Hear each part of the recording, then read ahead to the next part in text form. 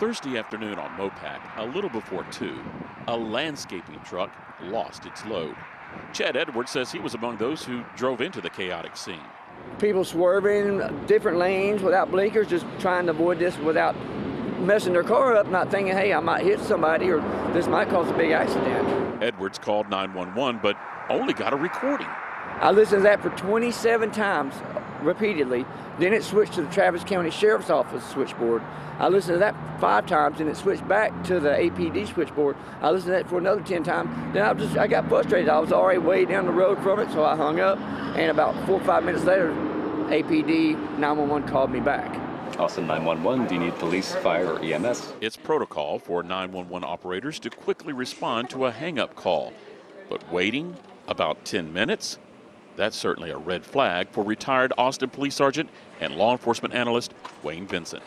It's just not acceptable that you can't call 911 and talk to an individual within a reasonable time.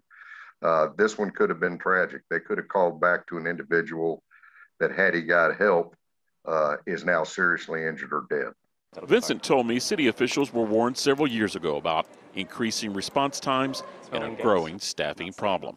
Well, it's a money thing. It's always about money and resources, but it's a leadership thing too. The can's been kicked down the road, and now the average citizen, on those rare occasions where they have to call the police, are finding out this crisis is real. Back in October, APD made changes in the way that emergencies should be reported in order to ease the pressure on operators. It was decided that 311 should be used to report crimes that are no longer in progress or to report situations that there's no longer a threat to life or property. The APD supervisor for the 911 center is Lieutenant Ken Murphy. He told me the answer rate for operators is around 93% within 10 seconds of a call coming in. But he admits there was a problem Thursday. During the 1 o'clock hour, he only had 11 operators on duty and they took 170 calls. In the 2 o'clock hour, he had 12 operators who logged 158 calls. Adding more people has been difficult. The last two job postings, according to Murphy, produced a total of 30 applicants and only one was eligible to be hired. Part of the problem, starting pay is around $18 an hour. Murphy told me Dallas recently solved its 911 staffing problem by increasing pay to $22 an hour and offering a $3,000 signing bonus.